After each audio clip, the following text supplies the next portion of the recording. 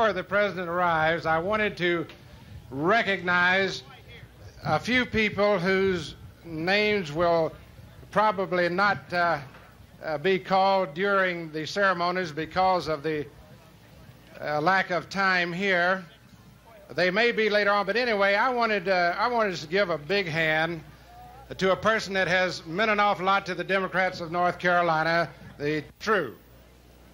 But we're real excited uh, about this day, and I know there are plenty of people who've been involved here and in all of this effort, and we appreciate your presence here and coming. There are some of us who's been worried about rain, but I guess you will just have to take the attitude of a person who plays golf, and they swear that it never rains on a golf course, at least while you're playing golf. And uh, if that's the case here, I'm sure it's to be true. When the president arrives, the plane will be parked in this area. He will be greeted by the governor of the state and a few others, and then we want you to give him a real rousing welcome when he comes down the ramp of that plane. All right, I've been asked to inquire if our next senator from North Carolina, John Ingram, is here. Yeah, here he comes. Let's give him a hand. John Ingram, the next senator from North Carolina.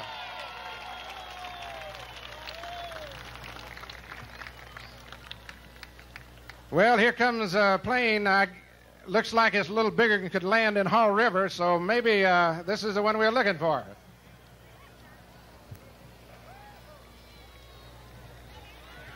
It's a beautiful bird, isn't it?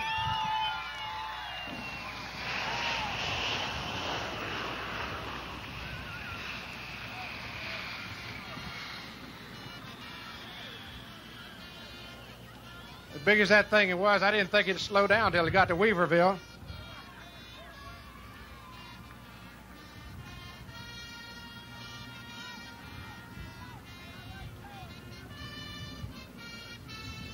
Ladies and gentlemen, our national anthem.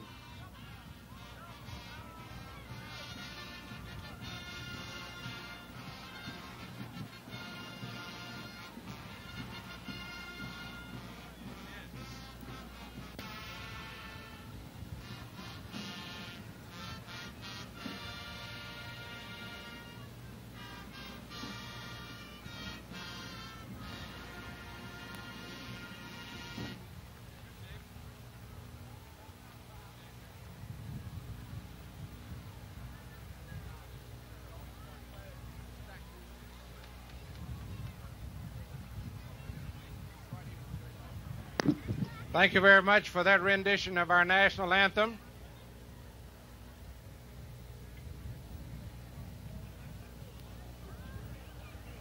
You can always tell when the president's about to arrive because you see the TV boys get busy.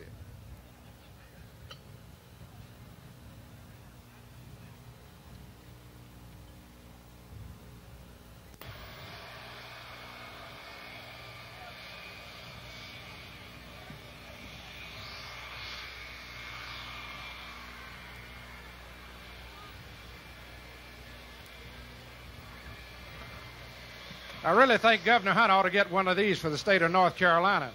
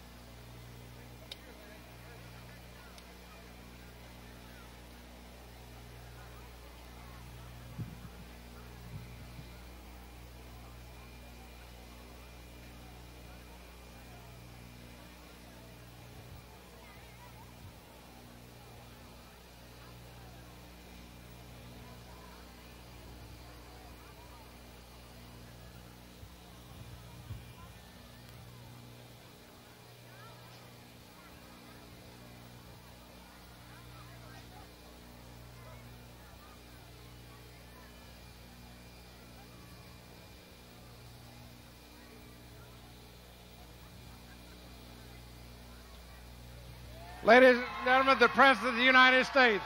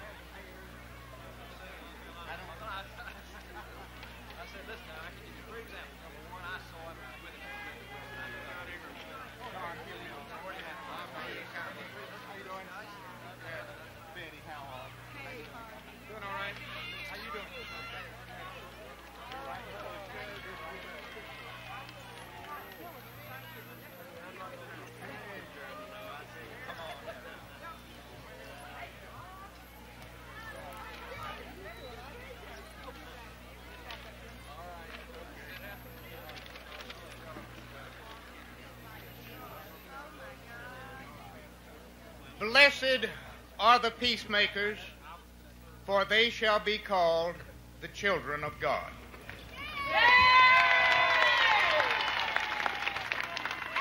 We are deeply honored here in Western North Carolina, Mr. President, that this is the site of your first public appearance outside of Washington since the Camp David summit. We congratulate you upon what promises to be the greatest peacemaking achievement of our time. Certainly, you may be assured, Mr. President, that these good God fearing mountain people are honoring your request that they pray for the continuing success of the Camp David endeavor. It is my happy privilege now to present to you, our friends in Western North Carolina, the first speaker on our program, a great friend of mine who served with me in the North Carolina General Assembly, an outstanding commissioner of insurance, now the candidate of the Democratic Party for the United States Senate, the Honorable John Ingram.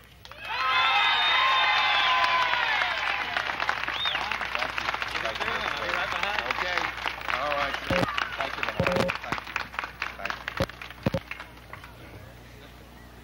Thank you, Congressman Gudger. Mr. President, Governor Hunt, Senator Morgan, distinguished platform Democrats, distinguished North Carolinians all, I'm proud to be back up here in the mountains again.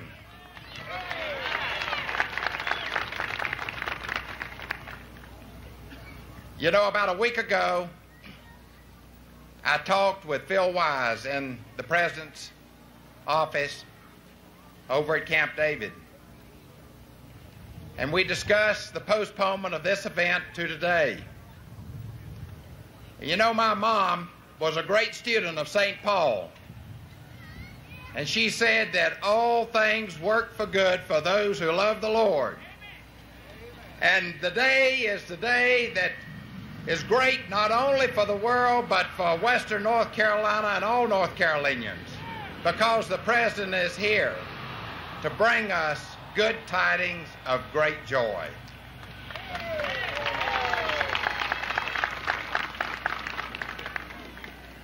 The day is such a great day for his leadership that even even our $5 million man has come out with another ad in the newspaper praising him. And I'll tell you what, Mr. President, these, these people here in North Carolina saw that $5 million man ride the coattails of Richard Nixon into the Washington, and they're not going to let him ride anybody else's coattails in.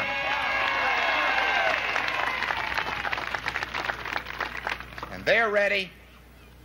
They're ready for a people's man who had rather represent the people of North Carolina than the millions of dollars of special interest pouring into this state from out of state. And I need your help. Thank you.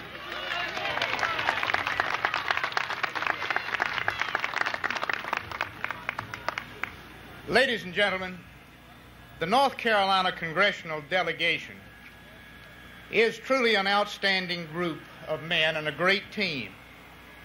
The quarterback on that team is our Democrat United States Senator. His counsel, advice, and assistance have been of incalculable value to me as a freshman congressman, and I shall always be grateful to him. I honor him and respect him, not only for this, but for the outstanding record he is building as a great statesman, representing a great state in that great body, the United States Senate. Ladies and gentlemen, my dear friend and colleague, our United States Senator, Bob Morgan.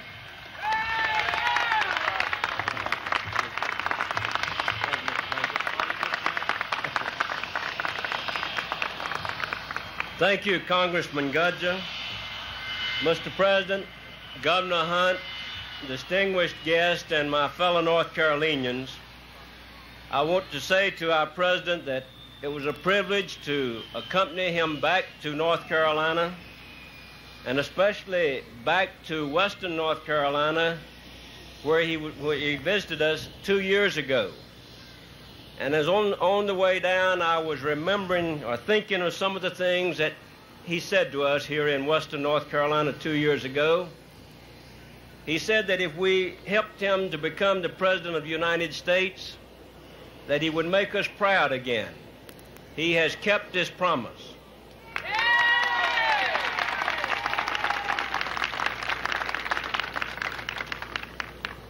Mr. President, when you were here two years ago, you told us that you would do something about unemployment as President of the United States. And my fellow North Carolinians, since he took the office as President, six million new jobs have been created in America. Again, he kept his promise. When he was here two years ago, he told us that he was concerned about deficit spending in America. He talked about balance, uh, the budget. I want to report to you that when the budget is adopted, when the, before this Congress adjourns, that he will have reduced the deficit by nearly 30 percent. And if we do as well in the next two and a half years under his leadership, we'll have a balanced budget. And again, our president has kept his promise. And I want to, I can mention many things, but I want to mention one final thing. He talked with us two years ago about the bureaucracy that has engulfed the American people, the small businessman, the farmer, the worker. And he promised us that he would do something about it. But before he could really make to really accomplish much in this area, he had to bring about needed, badly needed civil service reform, something that no other president had been able to do in a half a century.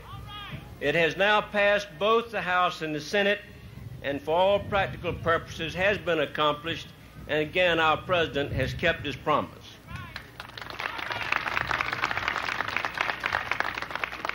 Now, my friends, the president has been able to do these things and so many more that we could name because he has had the support of Democrats like Lamar Gudger in the House of Representatives. And I want to report to you that Lamar has been a stalwart there. He's accomplished mu- as much in two years as almost any congressman I know. Now we need to give him additional Democratic help in the Senate by electing John Ingram. Thank you very much.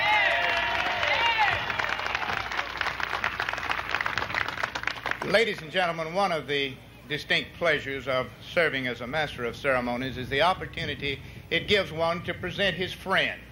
And it is a particular pleasure to me to introduce to you the platform guests whom I will ask to stand as they are recognized. First, I would like to present the man who distinguished himself for 20 years as Commissioner of Agriculture in Texas, now the chairman of the National Democratic Party, the Honorable John White. And next to him, our beloved chairman of the North Carolina Democratic Party, Betty McCain. And seated next to Big John Ingram, his lovely wife, Mrs. Ingram. And to my far left, and next to Senator Morgan, my own beloved Jeannie.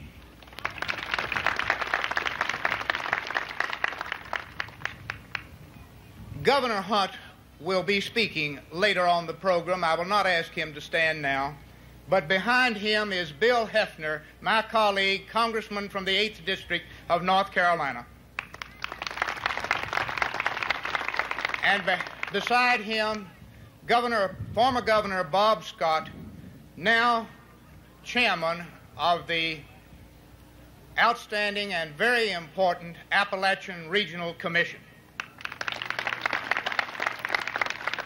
And next to Bob, Mayor Trantham of our city, and next to him, Mayor Todd of the city of Hendersonville. They have greeted us upon our arrival here. In earlier comments, we have intimated the tremendous achievements of the President of the United States in international affairs. I remind my friends and colleagues, however, that the strong leadership of the Carter administration has not been limited to international affairs. With the wide eyes of a beginner in Congress, I watched the flow from the date of the inauguration of messages to the Congress from the White House telling us what President Carter knew this country needed to move ahead. First, there was the bill to grant the President emergency power to bring natural gas from the West to us in the East. Then the economic stimulus package. Then the request for presidential authority to reorganize the federal government. Then the Department of Energy Act. Then the National Energy Policy Act itself. Then the request for hospital cost containment. Then a new plan for welfare. Then a proposal for civil service reform.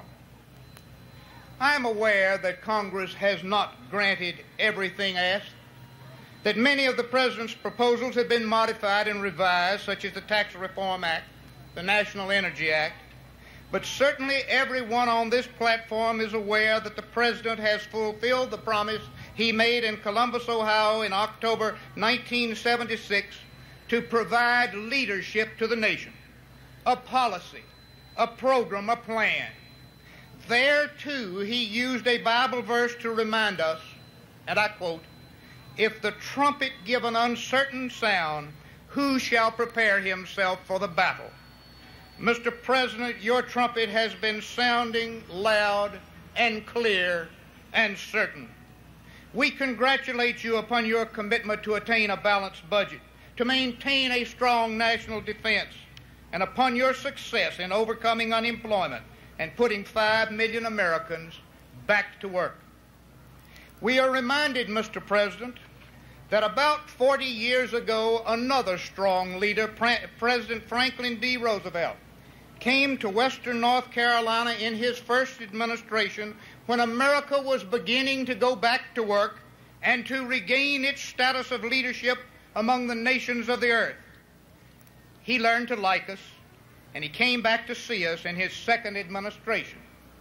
We certainly hope that you will do likewise, and you, will be coming back again and again to see us over the next six years.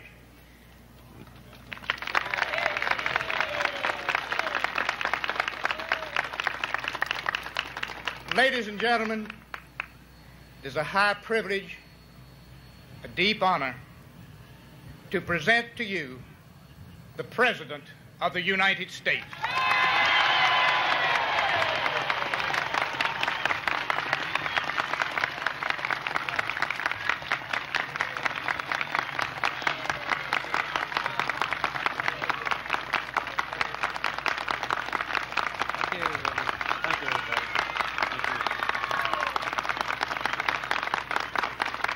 Thank you very, very much, everybody.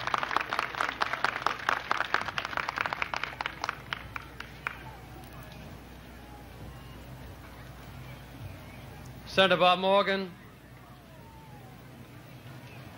Governor Jim Hunt, former Governor Bob Scott,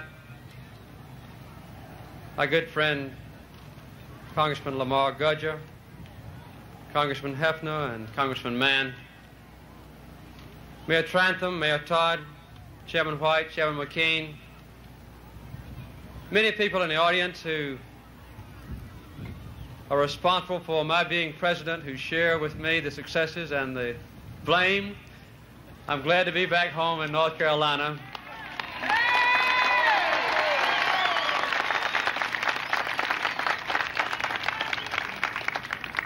Even if I am one week late. It's partially your credit that we finally ended the Camp David summit with success because I was eager to come back to North Carolina, and I wasn't the only one who was eager to leave. the last day, when everything seemed to be going wrong, Prime Minister Begin came up to me and said, Mr. President, I promise that Israel will get out of the Sinai if you'll let me get out of Camp David.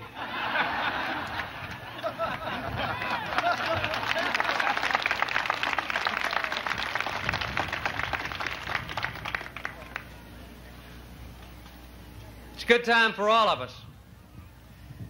In politics in government, in a person's private life, there are times of struggle, times of disappointment, times of challenge, times of failure, times of hope and times of dreams, times of success and notable achievement, times of prayer, and times of thanksgiving. And I have felt throughout the last 20 months, and particularly the last two or three weeks, that your prayers were indeed with me. We have a great country. It's always a mistake for us to overemphasize the transient or rapidly changing problems that we face. Our country has always been willing to face great challenges and to overcome difficulties and to meet difficult challenges and to answer tough questions. We've not changed. We still have the same pioneer spirit that bound us together 200 years ago or even earlier. My people, the Carter family, moved from North Carolina longer than 200 years ago. And we've always had a kinship with your state and a realization that there was a role for the individual human being in a democratic free society that could contribute no matter whether one had a service station or a peanut farm or was occupying the White House, we are party to a team effort and a team spirit that's not going to stop, not going to pause. We're going to continue to make our nation and to keep our nation the greatest one on earth. You can depend on that if I can depend on you.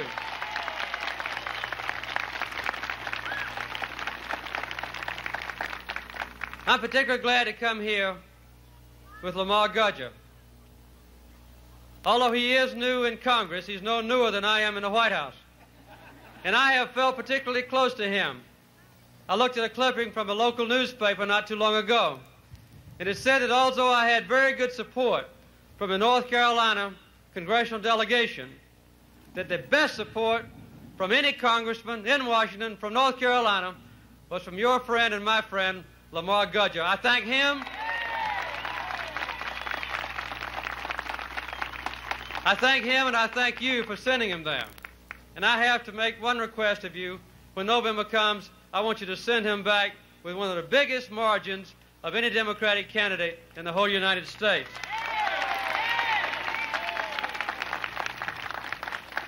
He has helped me on things that are important to you along, I have to admit, with other people on this platform, Bob Scott and the other members of Congress. When I went into the White House, we had a very serious series of problems. As a farmer, as a warehouseman, as someone who's lived in agriculture all my life, I know how bad the farm depression was 20 months ago, 24 months ago. Those of you who are interested in agriculture think back prices were going down that the farmers got for our products, prices that they paid for fertilizer, seed, equipment were going up much more rapidly. Net farm income was dropping. Last year, October the 1st, on my birthday, we put into effect a brand new agriculture bill. And since then, farmers' spirits, farmers' well being have been going up. This is a great stride forward. Another problem that I had when I became president was a high unemployment rate that Bob Morgan mentioned. When I became president, there were 10 million Americans who could not find a full time job. More than 7 million Americans did not have a job at all. The unemployment rate had been going up steadily almost for the preceding eight years. And the Congress and I formed a partnership to try to do something about it. Since that time, we've had a net increase of over 6 million new jobs in the United States. The unemployment rate has dropped two full percentage points nationwide. And it's holding steady and progressing in the direction that you wanted to move. This could not have been done without cooperation. And one of the best things about our programs that we put forward is that we've done it not depending just on government handouts and jobs. They've been important for some special groups. But we've tried to strengthen the private enterprise system to let private jobs, permanent jobs, be the root of the progress we have made, and that's what we're going to do in the future.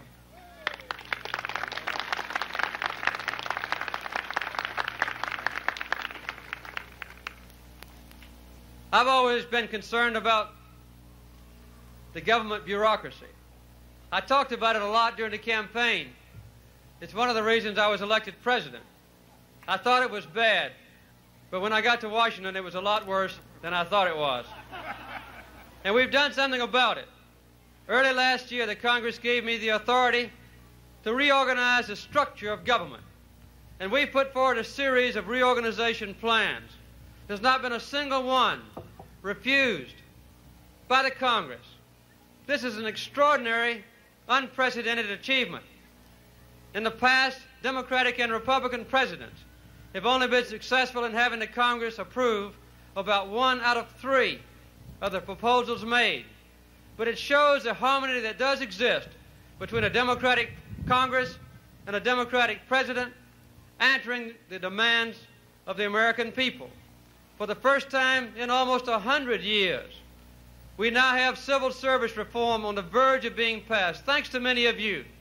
who've let your members of Congress know how important it is to you. We've got, a, we've got hundreds of thousands of competent, dedicated public servants who work under the civil service system. They want to do a better job. They want to see excellence and dedicated rewarded. So employees rewarded. They don't want to see someone sitting next to them loafing and incompetent promoted and paid at the same rate. So what this new law will do is to let us reward good employees, correct the defects among those that are not very good, inspire them to work harder or fire them if they don't work, and let managers manage the government, save you money, give you better services. Everybody wins all the way around.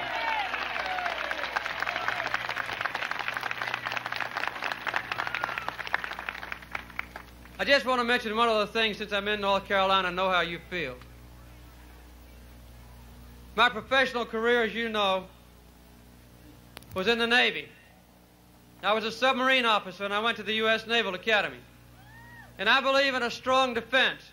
And as long as I and these men are serving you in Washington, we're going to have a strong defense, one so strong that no one will dare to attack us with any thought that they might be successful.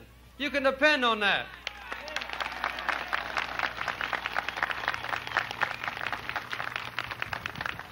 But there's another element of defense, and that is strength through character. We don't need to be a bully trying to push other people around. We don't need to be combative with a chip on our shoulder at all times. And since I've been in the White House, we have tried to reach out to others, even some of those who have not been quite so friendly with us in the past. We put our arms around the shoulders of our close friends who might be living next to one another in a state of war. And we've said, let's talk about the problems of our people and bring peace to the world. Sometimes this has been very unpopular, even with some of you. One of the most difficult decisions that I've ever had to make in politics was to deal with the Panamanian Treaty question. Some of you didn't like what we did. I realize that. But we now have a new spirit in Latin America, a strong, friendly spirit of mutual respect. Not a great nation or a big brother looking down on others, but one which we formed a partnership to strengthen those ties of friendship, democratic principles, of preservation of human rights, and with that strength, we can keep out the spread of communism in our own hemisphere. We've tried to deal fairly with the Turks and the Greeks to bring peace to Cyprus and to restore the damage that had been done to NATO. And lately we've reached out to our friends the Egyptians and our friends the Israelis to bring them for the first time in 30 years after four wars to a state of peace and friendship with open borders and trade and an end to the terrible bloodshed that's wreaked havoc in that area. So there is a combination of strong, staunch military commitment on the one hand, and a nation that's clean and decent and a source of pride on the other hand, where people can respect us and where we, the true spirit of our country can be shown to the rest of the world. And as long as I'm in the White House, I'll continue to exemplify what you are, what our nation has been, what our nation has been in the long past, what our nation is now, what it can be in the future. I believe in those spirit commitments that were made 200 years ago here in your state and mine, and I believe that you want us to raise a banner high of protecting human rights around the world as we do in our own country, and that's what we're going to have if you'll continue to be partners with us.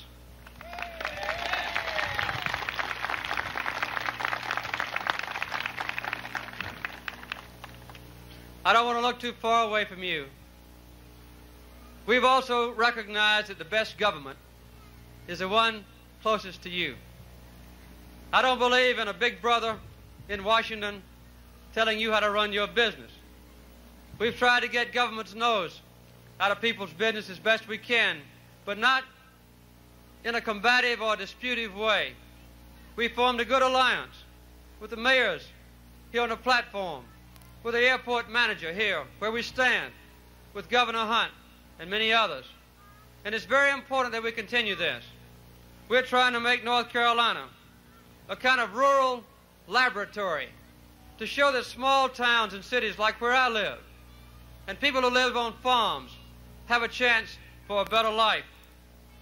Right here where we're standing, even though you've already gotten some help from the Federal Aviation Administration, I can announce today there'll be $2 million more coming in here next month to add 1,500 more feet to your runway, giving you an 8,000 foot runway to connect you with the outside world.